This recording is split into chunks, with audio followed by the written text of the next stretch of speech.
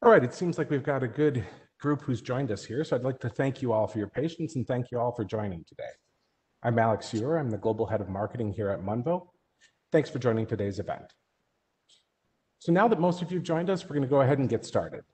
So first off, let's do a quick reminder to let that you can submit any questions you have today using the Q&A panel that you see during the presentation.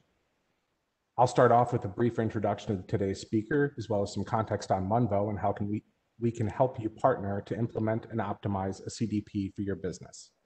After that, I'll hand it over to James for the main event. Once James finishes, I'll come back online and we'll address those questions live. So first off, to uh, introduce today's speakers. So myself, I'm Alex Ewer. I'll be your moderator today, and I'm the global head of marketing here at Munvo. I'm joined today by our special guest, James Meyers, our presenter, the product strategy director over at ActionIQ. Before I hand it over to James, I want to give a little bit of background and context about Munvo. Our goal is to help you maximize the investment that you've made in your MarTech. So to that end, we partner with leaders across various aspects of MarTech to ensure that we can offer and support you with the right solution for all of our clients and for all of your unique needs. When it comes to today's topic, CDPs, we're able to deliver services starting with implementation to integration, helping you run services as needed to help you get complex projects off the ground. As you can see, we've been doing this quite a while, over 15 years, in fact. So with 300 plus marketing solution projects under our belt, we bring diverse industry experience, diverse technology experience to the table for every engagement. Without further ado, though, I'd like to introduce James, who's really the star of the show today, and he's going to present today's webinar, Understanding CDPs and Navigating the Hype. Excellent. Thank you, Alex. Excited to be here. And um, I'll start off by going through some of the key issues that we'll be discussing today.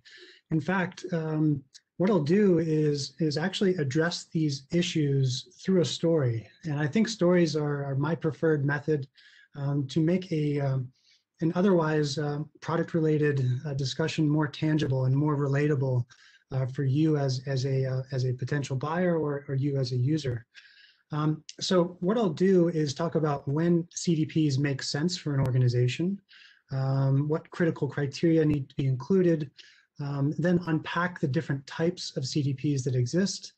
Um, and then importantly, um, the discussion should go into where does it fit in the stack overall and so how does it interplay with other technologies? And then finally, uh, wrapping up with some stories and some, uh, some client success uh, case studies, including the ROI of the investment. Um, so as I mentioned, um, I was going to tell all of this through a story.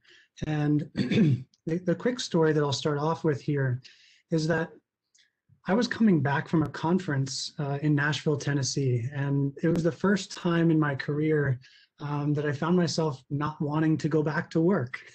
and of course, I, I say that with a smile because I, am a bit of a geek and enjoy uh, solving problems like uh, like these for customers. But also, it's really it's really that I was frustrated with constant pain that my colleagues were feeling.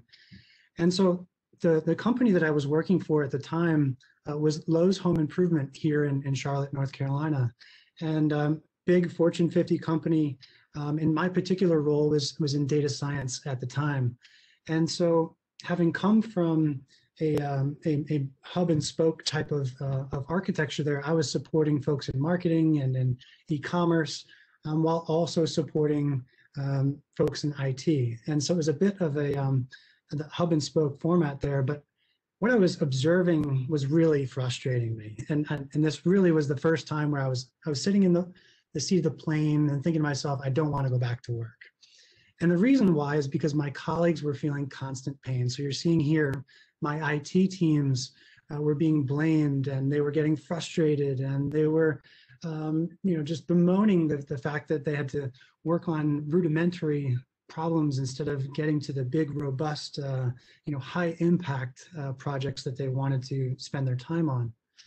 You know, then my actual team on, on the analytics side, we were wasting tons of our time, uh, reintegrating data, cleansing, transforming, um, and then we were disappointing our stakeholders over in marketing um, and e-commerce by missing their deadlines because we had spent so much time reintegrating and retransforming and, and, and shipping data. So um, what that meant is that the business teams, these in, in marketing and e-commerce here, um, they weren't meeting their goals. And instead there were some negative consequences happening too. So if you think about these organizations being a bit more siloed, um, they were over touching their customers and they were not able to achieve the kind of scaled ultimately meant they weren't meeting their acquisition and retention goals. And just as a small anecdote here, um, I'll, I'll, I'll, say that all of these are 100% true because uh, my wife, uh, I met her at Lowe's and she was on one of these business teams. So she constantly reminded me of, of the uh, kind of disappointments and so forth that we were um, that we were causing. And so again, as you're as I'm sitting here on this plane ride back to Charlotte, I, I found myself, you know, you got to think differently, James. You got out of the box and come up with a new way. And so if you are in that similar situation where your your CX team or your analytics team or your IT team or even your executive team are feeling these types of pains, a CDP is likely the right tool for you. So whether it's it's disjointed data or the inability to access data as a business user, or if you're on the analytics team, that it's it's siloed data that's causing constant wrangling of data, uh, duplicate identities um, that cause distrust in, in data insights, um, or if you're on IT, the, the, the, constant need to fix and maintain integrations as well as the, the friction between you and your, your business stakeholders, or if you're on the executive team, you're finding your costs are growing uncontrollably because each new problem requires a new solution. Um, so there's a number of different uh, kind of signals that you and your teammates may be feeling. I wanted to make sure those were those were nice and tangible for you here in the first part of this presentation. Where we'll go next is where I made huge mistakes. And, and this is me being completely honest with you. Um, I was foolish and I didn't see the larger problem. And instead I just focused on this small component. And what I mean by that is as I ended up building the CDP for Lowe's, I thought that it only needed to do three things. I thought it just needed to de-silo all this disparate data, assemble all of these records into a, a single customer view for each customer, and then finally just ship all that data downstream off to the email service platform, the advertising platform, or the website personalization tool. And I thought that if I did all those things, then I would solve the problem. But I actually only created a CDP that helped IT. And as I mentioned, my wife reminded me, um, this is why.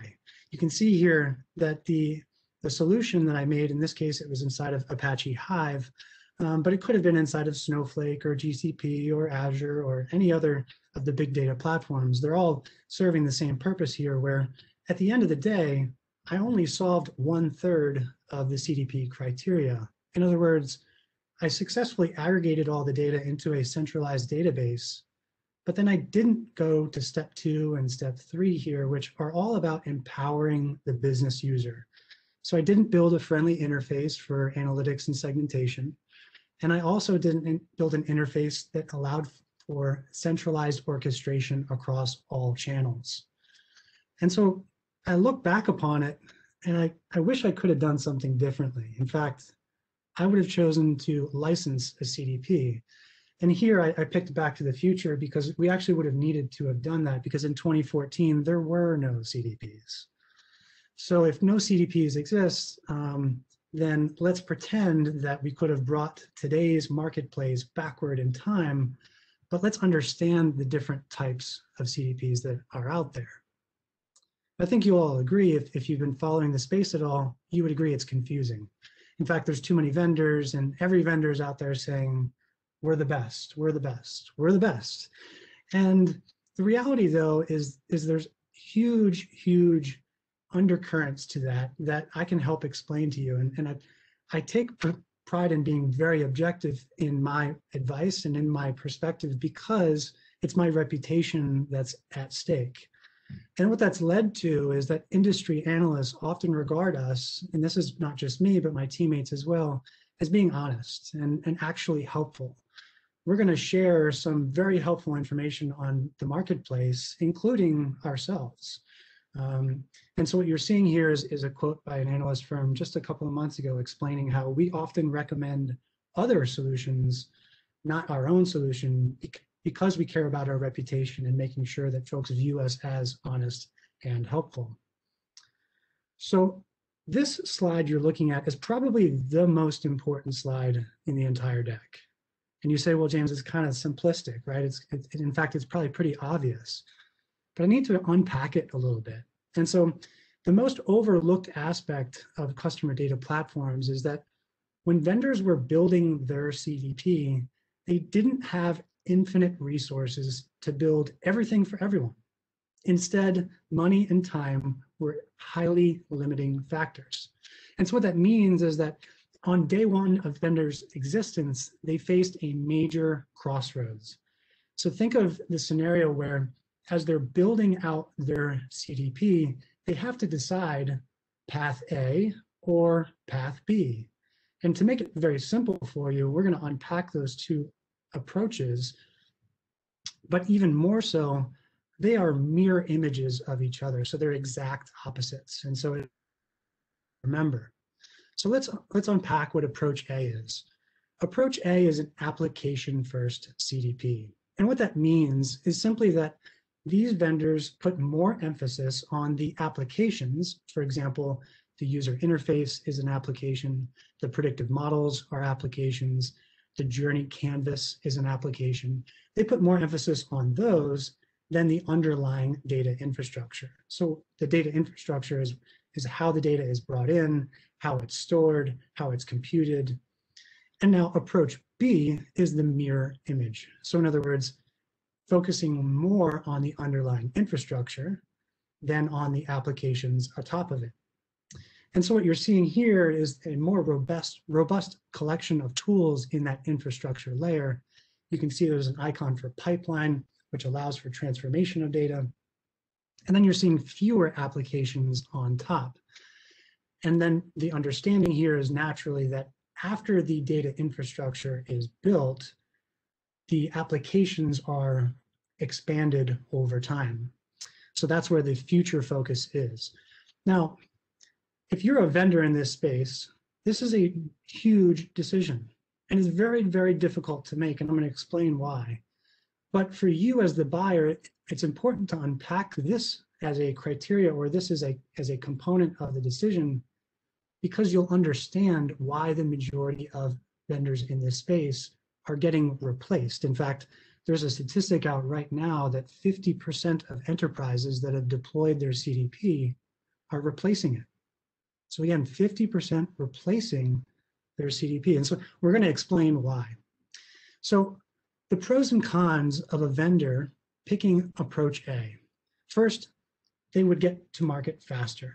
And the reason why is because building applications is much quicker, much faster, much easier than building a robust data infrastructure. The second reason why a vendor would pick approach A is because the user interfaces can be focused on and the user interfaces become very attractive. So you can sign new clients very, very quickly. Now, there are some cons and we'll go through those very quickly, but they revolve around scale and, and inflexibility. And then finally, around the inability to stop the train once the train is moving down the tracks. And so what I'll do explaining that is simply say that once an organization has deployed a particular CDP, they don't want the vendor to come back and say, hey, we realize that we can't compute all of your data or we can't fulfill all of the use cases that you you now want to deploy, but we can if you'll allow us to stop the train, open the hood, and strengthen the underlying data infrastructure.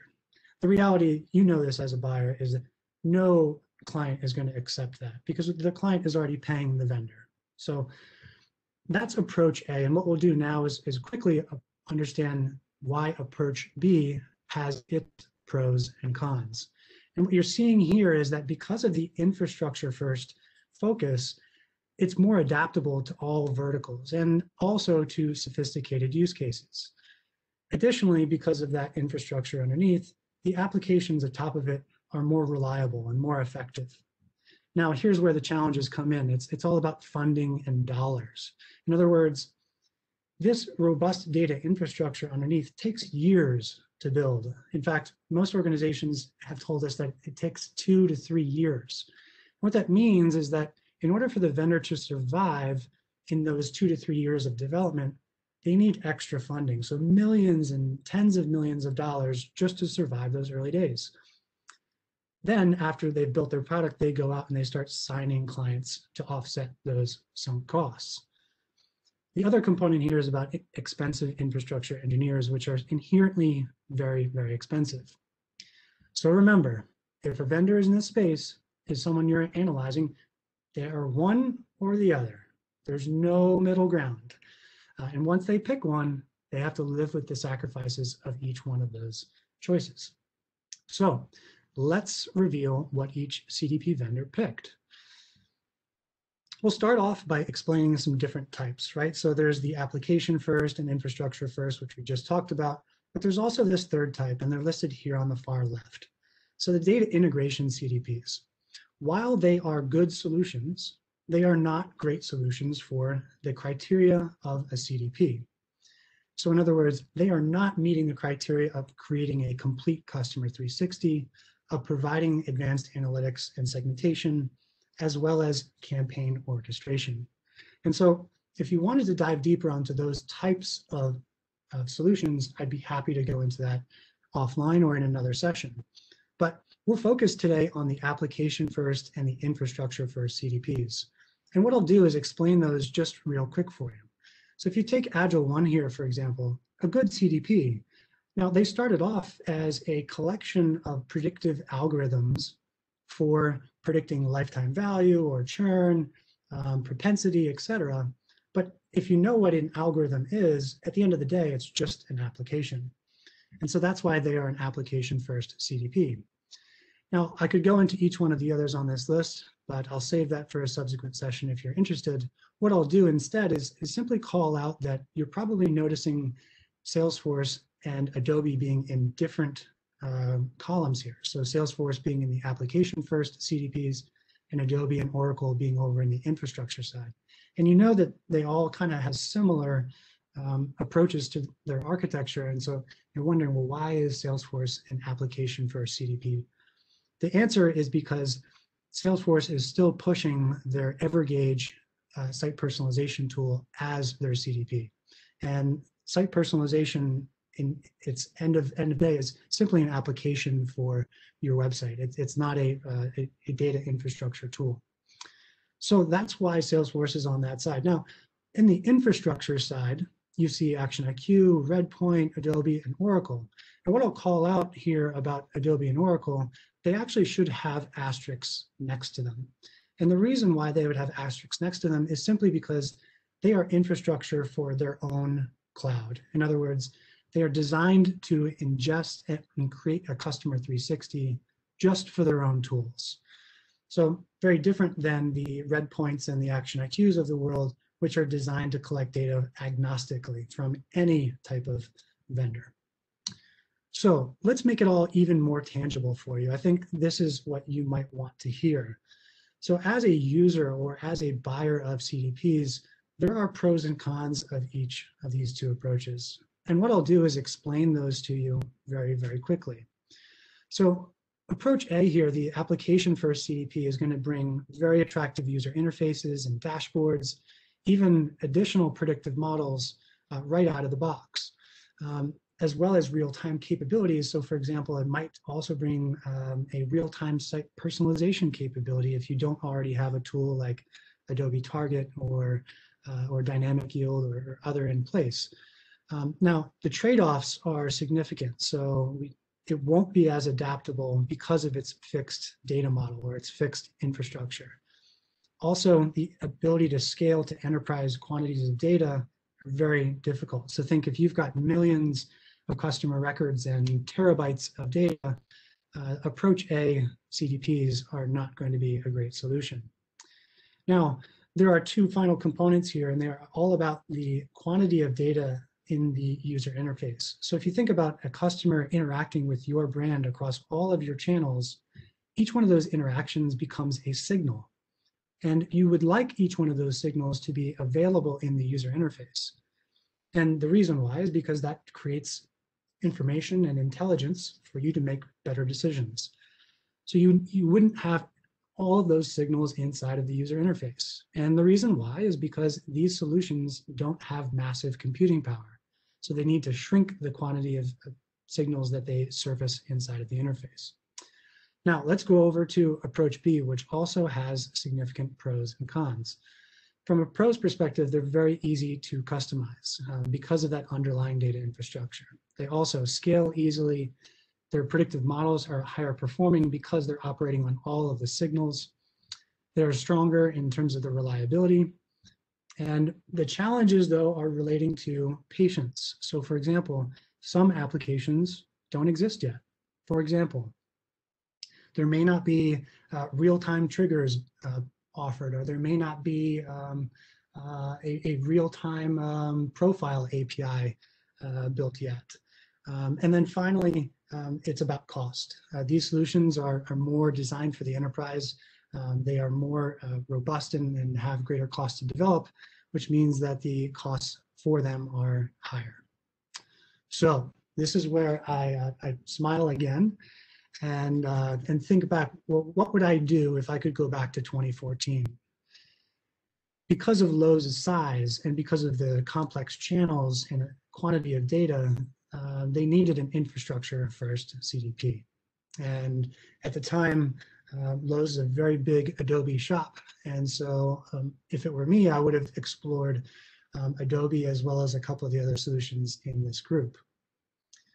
Now, let's get into the broader discussion though, because if, if you are a buyer of this technology or if you are a marketing technologist trying to understand this technology, I always tell organizations to think bigger. In other words, thinking bigger is understanding where the CDP fits inside of the tech stack. And it's all about the hub and spoke in this case. So the infrastructure for CDP here sits as that hub. It's designed to ingest data from online and offline sources. It's designed to sit next to your uh, Snowflake or your GCP or your uh, whatever big data platform you are using. Um, and so it's ingesting data from both of those sources. It's interacting, of course, with your advanced analytics tools. And then its job is to take customer specific data and customer specific models and ingest them and make them available to business users. So in other words, the whole purpose of this solution is to take all of that siloed and inaccessible data and empower the 80% of the organization that doesn't know how to write SQL. In other words, if the 80% of the organization is being tasked with making better decisions, they need data to make those better decisions. So it's all about democratizing data and democratizing insights to inform better segments and to inform better experiences that get orchestrated across channels. So if you think about those as, as high level criteria, it's actually important to think about the overall technology stack and how it performs. In other words, part of the reason why 50% of enterprises are changing their CDP today is because they didn't think about the criteria that are on this slide. Now what I've done to make it nice and easy is there are eight criteria, but we've, we've grouped them together into four major outcomes.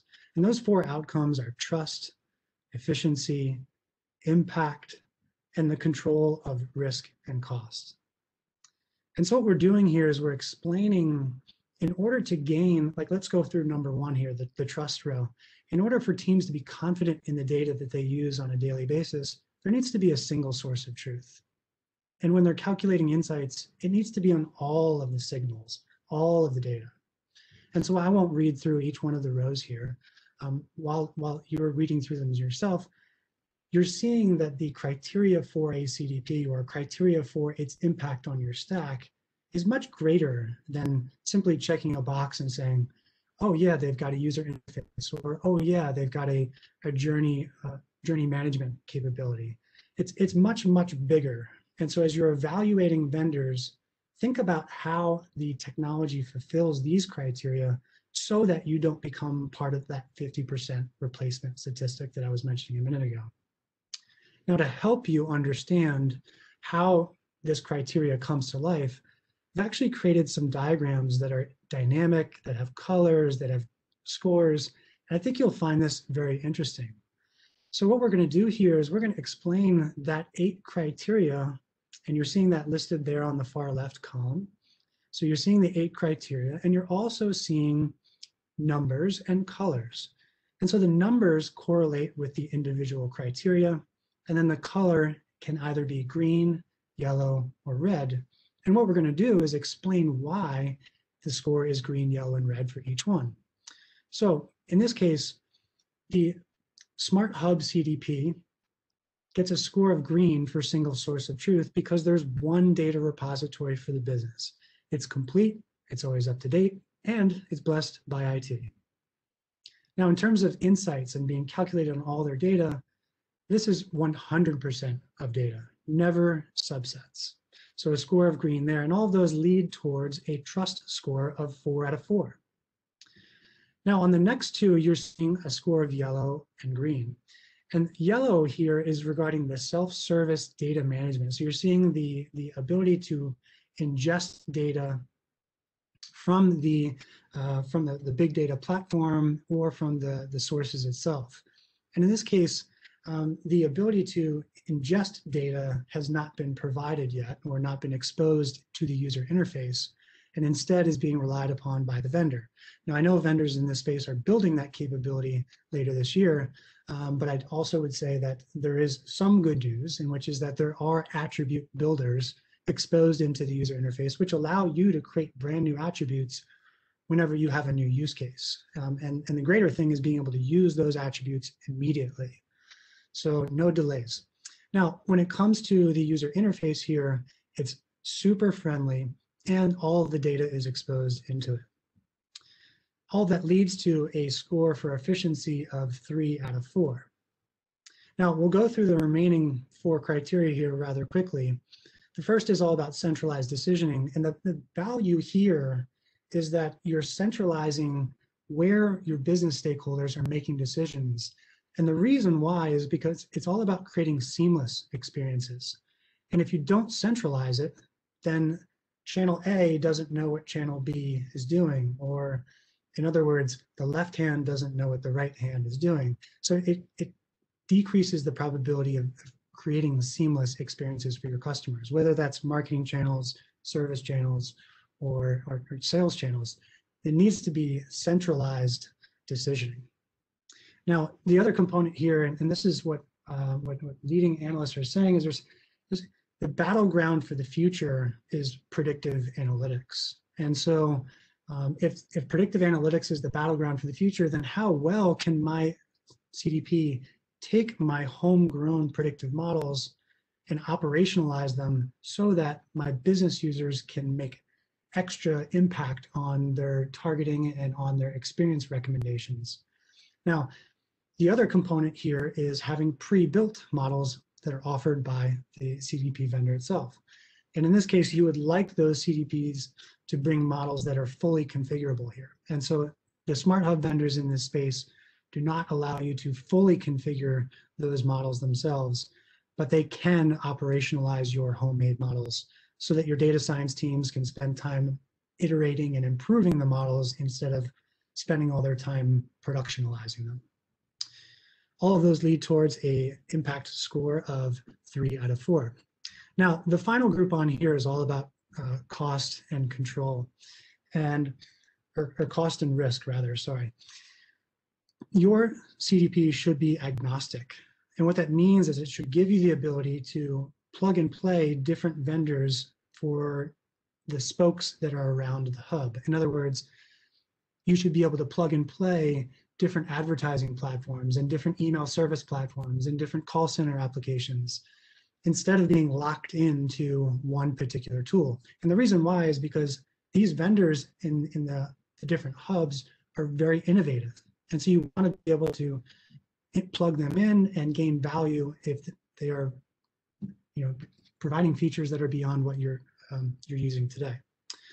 So um, a score of four out of four, and then the summary here for you at the end. Now, what I'll do, um, just to finish off, I want to show some stories of client success, including the ROI. So um, Forrester, in our case, interviewed a number of our clients. In fact, we, we had them interview four of our, of our biggest clients. And in this case, they wanted to identify how the platform was delivering value across revenue, margin, and finally ROI. So you'll see here that the revenue improvements relate to conversion rates, um, order values, um, advertising improvements, uh, labor and technology reduction costs, and finally um, a payback of less than six months. So um, if you're if you're interested, we could send you that later, but um, it's very, very impressive uh, report. Now, what I'll do next is, is explain a couple of, of uh, success stories or, or client case studies just to make this extra tangible for you. So Genworth Financial here, an S&P 500 insurance company, um, they came to ActionIQ in the middle of a significant shift in their revenue model from selling through agents uh, to selling directly to customers. And they had no infrastructure uh, to get data um, so they also had problems with um, with governance, and um, that's because they were highly regulated industry um, and new um, constraints and, and, regulations from CCPA, GDPR, and, and more. Um, so using ActionIQ, it was all about consolidating and unifying data, giving their stakeholders that 360 degree view of the customer, um, and you're seeing a quote here uh, from Deirdre Watts uh, about ActionIQ being that smart hub approach, um, enabling them to consolidate data and provide self-service access. So again, the 80% of the organization now has access to data, to insights, and to orchestration capabilities for those seamless journeys. Now, I'll also add one more here for Pandora. And Pandora is, is intriguing here also because of the, the size of their organization. So in other words, Pandora is unique because they have an unbelievable quantity of data available. Um, in fact, just in 2019, ActionIQ ingested over 30 petabytes of data from Pandora. So an extreme quantity here, and that's because they have a large user base, um, I think somewhere around 154 million users, um, but also every one of their interactions when they're listening to music and clicking on um, music material gets tracked into their platform. Now their challenge, um, they, they, um, they infamously called it the SQL crazy train. What that means is that they spent hours per day um, interacting with their, their stakeholders in analytics and IT to rebuild SQL, to uh, re, uh, retransform data and, and unify data in order to get the right segments for their campaigns.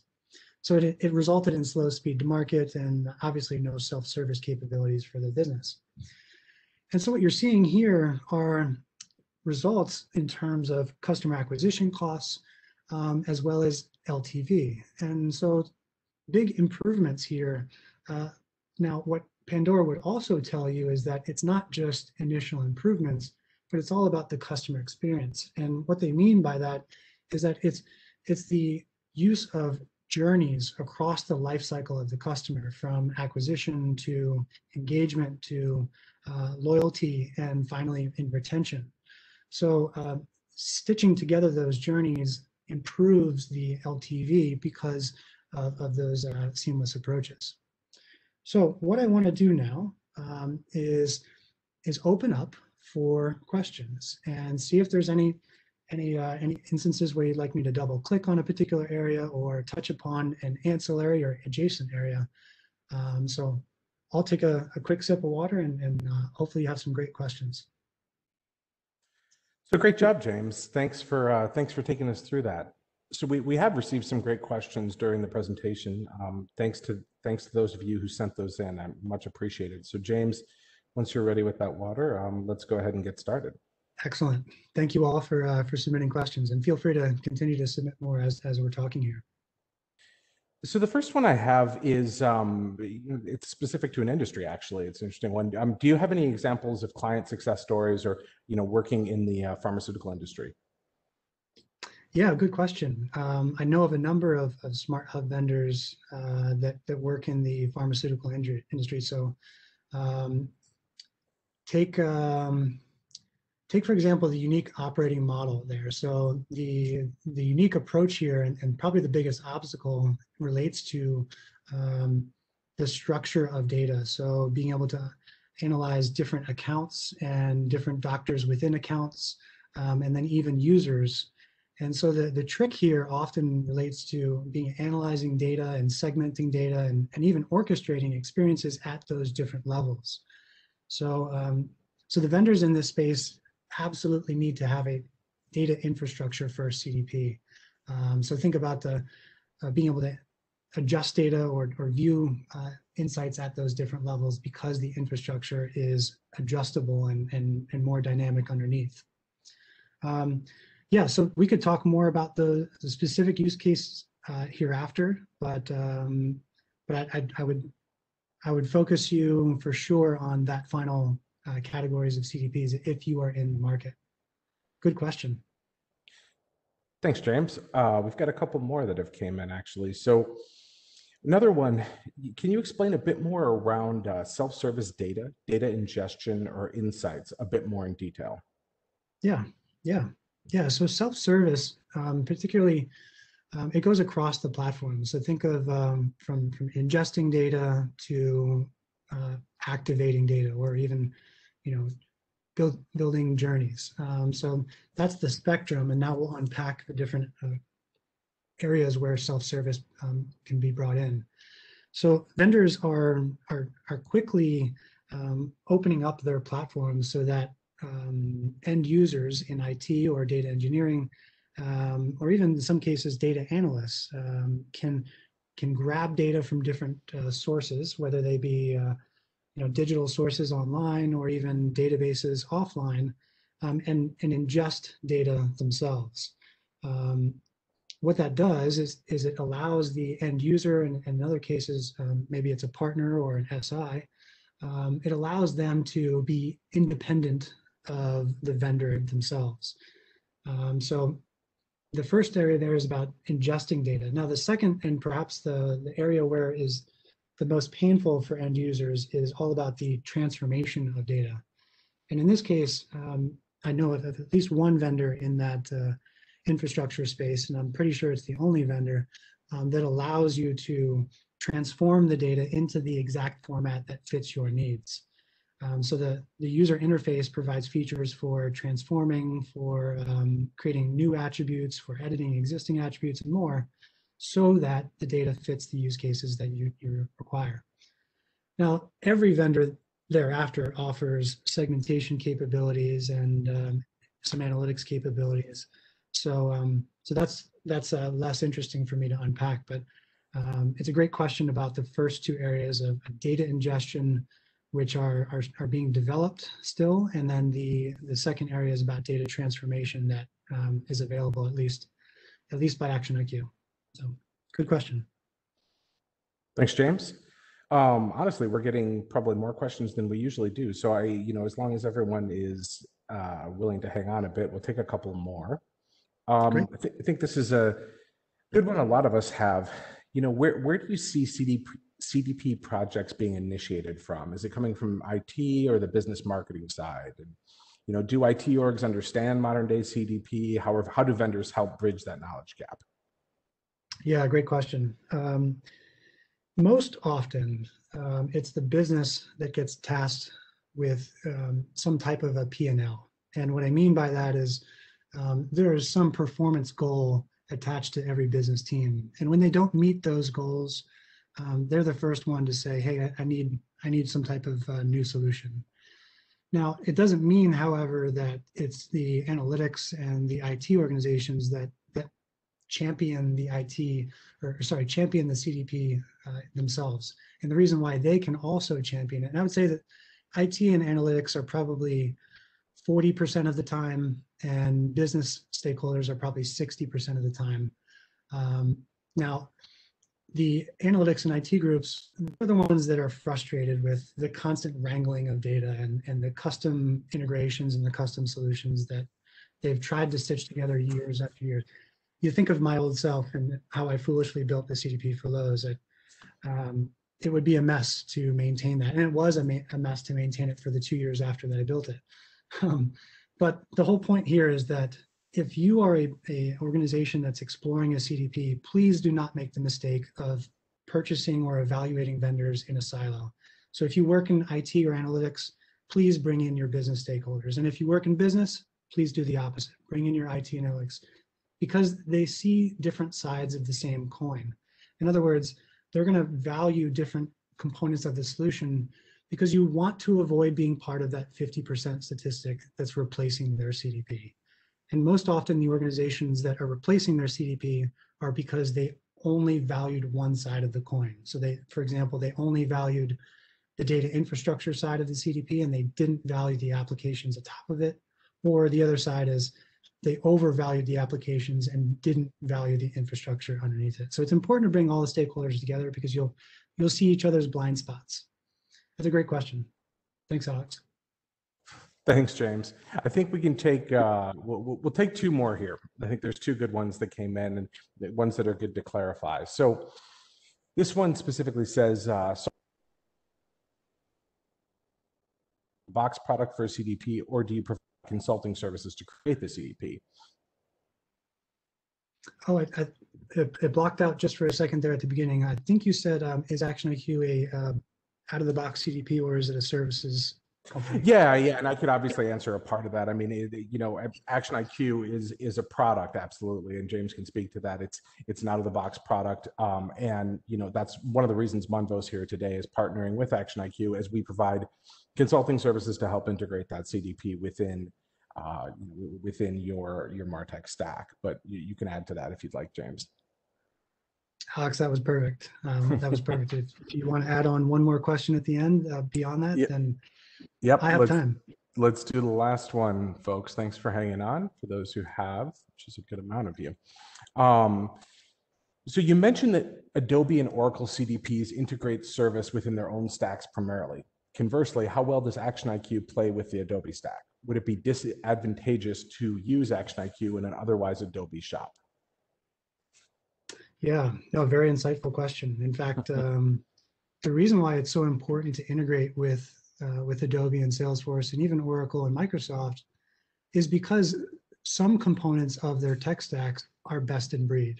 In other words, they have best in class capabilities for, uh, think of uh, think of Sales Cloud for Salesforce or um, or Service Cloud for Salesforce. You know, great, great tools. And so ActionIQ's clients are best in class uh, strategy. And so what that means is that they've they've wanted us to integrate seamlessly. And in fact, um, their customers uh, tell us that we integrate better with them than they integrate among their own portfolio. Uh, so yes, we we take those integrations very very seriously because all of our enterprise clients have at least some mixture of Adobe, Salesforce, Oracle, and and Microsoft in their stack. Um, so it's important. Yeah, great question. All right. Thanks for uh, going through all the paces with that, James. And really, thanks to all of the attendees for submitting um, great questions. Appreciate the engagement. That's that's fantastic. Um, thank you all for taking time to join this webinar. If we didn't get a chance to address your question live, um, we'll definitely reach out to you after the event. And don't hesitate to reach out to us on munvo.com via LinkedIn or any of the channels so we can talk more about solutions customized for your business. I've been Alex Ewer. I've been here with James Meyers and have a great rest of your day.